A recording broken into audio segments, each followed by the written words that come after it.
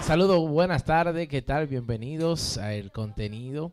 Yo sé que ustedes se la están pasando muy bien y con este gran programa como cada sábado a través de este gran canal por internet dominicanyourtv.com. Bueno, mi gente, eh, quiero mandarle un saludito a toda la gente que nos sigue a través de Facebook, Instagram, tanto aquí en Estados Unidos y también la República Dominicana, Centroamérica, Norteamérica, también en Europa, que muchas eh, muchas personas nos siguen a través de la internet y Facebook, como ya he comentado anteriormente. Vamos a hablar acerca de lo que está pasando internacional, nacionalmente también en el país y fuera de él. Vamos a hablar, eh, se repitió eh, otra vez, vamos a decir similarmente, se repitió eh, un ataque en una escuela, un niño de tan solo 16 años vuelve a atacar con, con dos cuchillos y a, a apuñala a 20 de estudiantes y a un guardia de seguridad.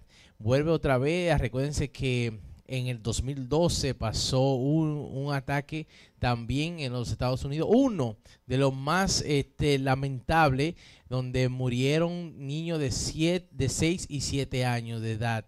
Eh, también eh, eh, varios de los niños que fueron este, atacados de 14, 14 y 17 años, hubieron cuatro de ellos que estaban en estado crítico.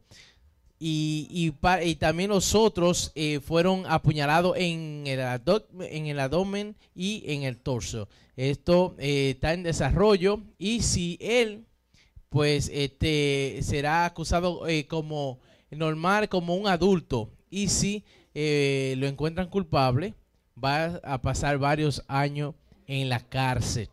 Y eso se está viendo aquí en los Estados Unidos, muchos de los jóvenes. Aunque el abogado de, de, él dice que no, que este él no, no tiene ningún problema este mental y que se vaya, eh, van a hacer el juicio eh, normal, como si él fuera un adulto. Así es que los padres tienen que seguir viendo qué hacen sus hijos a través de la computadora, cuando se trancan en, su cuarto, en todo momento tienen los padres que seguir supervisando a sus hijos. No podemos dejar de descuidar